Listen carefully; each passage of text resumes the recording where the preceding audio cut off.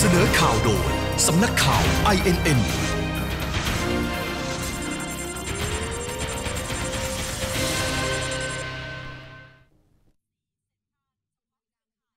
ดิฉันคณิตบุญเผยจากสำนักข่าว INN ค่ะ นับถอยหลัง 3 ชั่วโมงสารรัฐธรรมนูญวินิจฉัยยุบพักไทยรักษาชาติหรือไม่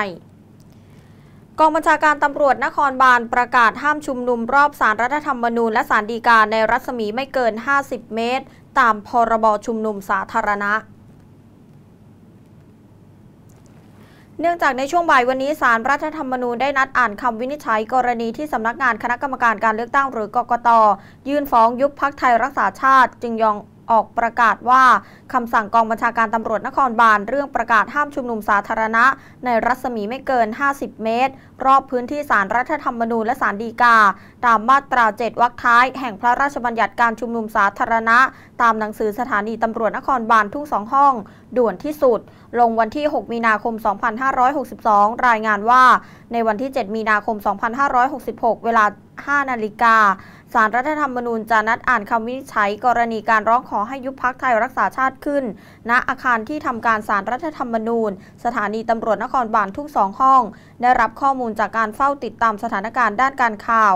อาจมีกลุ่มที่สนใจการเมืองมาร่วมชุมนุม ฟังผลคำวินิจฉัยของศาลซึ่งอาจมีกลุ่มผู้ไม่หวังดีมาก่อเหตุสร้างสถานการณ์ บริเวณที่ทำการของศาลรรัฐธรรมนูญและศาลฎีกา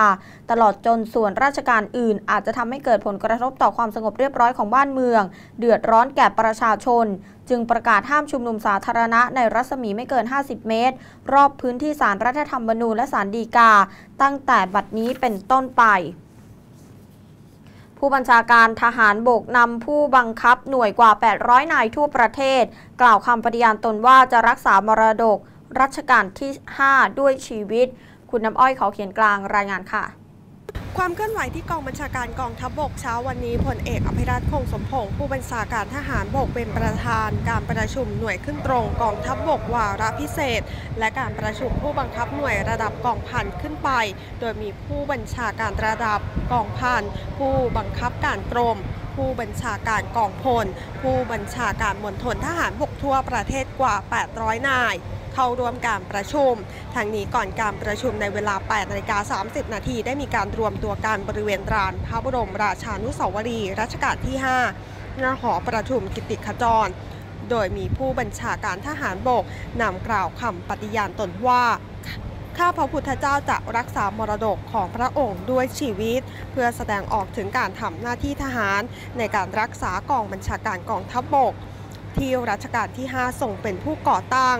นำอ้อยขอเขียนกลางผู้สื่อข่าว INN รายงานจากกองบัญชาการกองทัพบบกค่ะ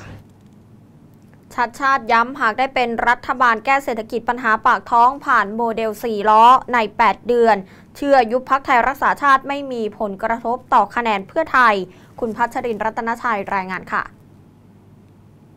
ชัดชาติสิทธิพันธ์หนึ่งในแคนดิเดตนายกรัฐมนตรีพักเพื่อไทยให้สัมภาษณ์ภายหลังลงพื้นที่หาเสียงที่ตลาดยิ่งเจริญเขตบางเขน โดยยืนยันว่าหากได้เป็นรัฐบาลจะขับเคลื่อนเศรษฐกิจและแก้ปัญหาปากท้องประชาชน ผ่านโมเดลสีล้อของพักเพื่อไทย ที่จะปลดล็อกอุปสรรคความเป็นอยู่ของประชาชน และย้ำว่าภายใน 8 เดือนจะสามารถแก้ปัญหาได้ ผ่านนักบริหารมืออาชีพ นอกจากนี้นายชัดชาติกล่าวถึงกรณีสารรัฐธรรมนูญพิจารณายุบพักไทยรักษาชาติในช่วงบ่ายวันนี้ว่า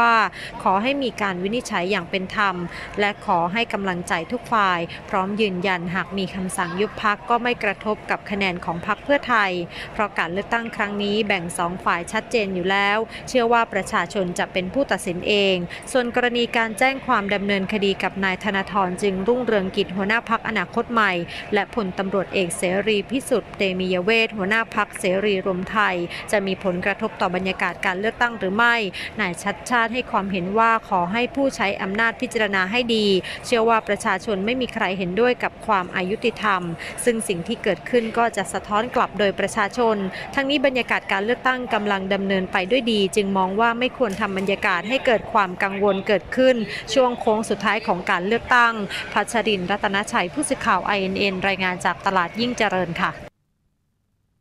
การเสนอข่าว 10 นาฬิกา 5 นาทีค่ะ